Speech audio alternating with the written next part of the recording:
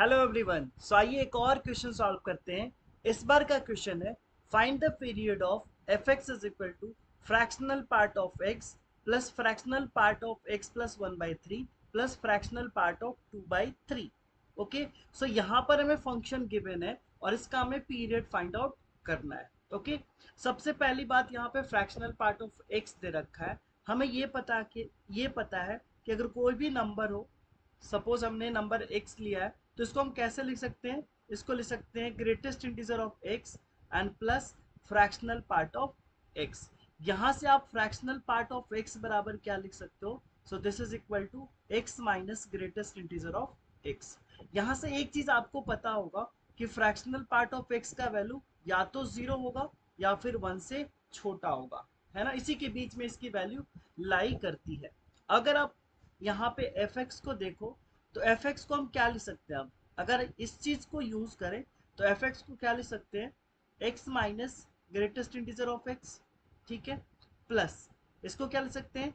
X plus one by three minus greatest integer of x plus one by three correct है? And plus फिर इसको क्या लिख सकते हैं? X plus two by three and minus greatest integer of x plus two by three clear है यहाँ तक? हाँ. अब यहाँ के बाद आप देखो क्या हो जाएगा? X plus x plus x ये क्या हो जाएगा? So this is equal to three x ये आ गया आपका थ्री एक्स प्लस अब देखो यहाँ पे वन बाई थ्री है एंड टू बाई थ्री है तो one by three plus two by three क्या हो जाएगा? वन हो जाएगा। और यहाँ पे minus greatest integer of x minus greatest integer of x plus one by three and minus greatest integer of x plus two by three हो जाएगा। क्लियर है। अब यहाँ से अगर एक स्टेप और लिख लें तो ये क्या हो जाएगा? Is equal to three x plus one minus अगर आप यहाँ से कॉमन लेते हो तो क्या बनेगा?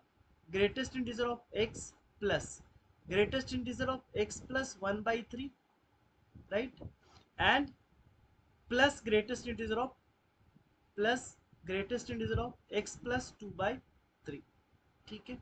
अब यहाँ से एक चीज़, ये आपका यहाँ पे फ्रैक्शनल पार्ट नहीं है, ये जस्ट हमने ब्रैकेट लिया है राइट दिस इज़ ब्रैकेट ठीक है? ओके अब अगर आप ध्यान दो यहाँ पे तो हमें एक चीज़ पता है। वो क्या पता है? वो ये चीज़ है कि greatest integer of x plus greatest integer of x plus one by n plus greatest integer of x plus two by n and plus so on ये ऐसे ही चलता जाएगा। अगर ये चलता जाए greatest integer of x plus n minus one by n तक, है ना? तो इसका वैल्यू क्या होता है? So this is equal to greatest integer of n x clear है? अब अगर आप इस चीज़ को ध्यान दो, ये वाला तो ये क्या है आपके पास? Greatest integer of x plus x plus one by three का greatest integer plus x plus अब देखो इस टू को आप क्या लिख सकते हो? लिख सकते लिख सकते हो क्या? Three minus one by three का ग्रेटेस्ट इंटीजर लिख सकते हैं ना? क्या इस पे बेस्ड आ रहा है? क्या इस पे बेस्ड आ रहा है? तो इसको क्या लिख सकते हो आप?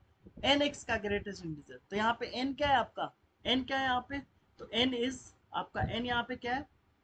एन आपका है यहाँ पे थ्री तो ये हो जाएगा थ्री एक्स का ग्रेटेस्ट इंटीजर दैट मीन्स इस पूरे पार्ट को आप क्या लिख सकते हो? इस पूरे पार्ट को लिख सकते हो आप थ्री एक्स का ग्रेटेस्ट इंटीजर इसका मतलब अब हमारे पास जो फ़ंक्शन आ गया, वो फ़ंक्शन क्या आ गया? F x is equal to three x three x plus one ध्यान दीजिए three x plus one and minus minus greatest integer of three x right या फिर आप इसको ऐसा लिख सकते हो three x minus greatest integer of three x and plus one अब आपको एक चीज़ पता है, एक चीज़ पता है वो क्या है कि f x is equal to अगर आपके पास x minus greatest integer of x है तो इसका जो पीरियड होता है, वो पीरियड क्या होता है? दिस इज़ इक्वल टू इसका पीरियड क्या होता है? वन होता है। और हमें पता है एक चीज़ और कि अगर कोई function f x f x अगर आपका टी का पीरियोडिक है तो एफ़ एक्स आपका किसका पीरियोडिक होगा? तो एफ़ एक्स हो जाएगा आपका टी बाई मॉड ए का पीरियोडिक होगा। ठीक है? अब यहाँ पे देखो ध्यान से आप इस फ़ंक्शन को। इस फ़ंक्शन को अगर आप देखोगे तो अगर ये f x is equal to इतना है है ना? तो आप यहाँ से एफ़ थ्री एक्स क्या हो जाएगा? एफ़ थ्री एक्स क्या हो जाएगा आपका? सो हो जाएगा three x minus three x का ग्रेटेस्ट इंटीजर दैट मीन्स ये किसका पीरियोडिक हो जाएगा? तो ये पीरियोडिक हो जाएगा वन बाई थ्री का. ये किसका पीरियोडिक हो जाएगा? वन बाई थ्री का. तो आप कह सकते हो कि ये जो फ़ंक्शन होगा, ये जो फ़ंक्शन होगा, या फिर इसके बारे में कह सकते हो, ये किसका पीरियोडिक होगा? सो वन बाई थ्री का. कांस्टेंट से मतलब नहीं होता बस हमें ये ध्यान देना होता है.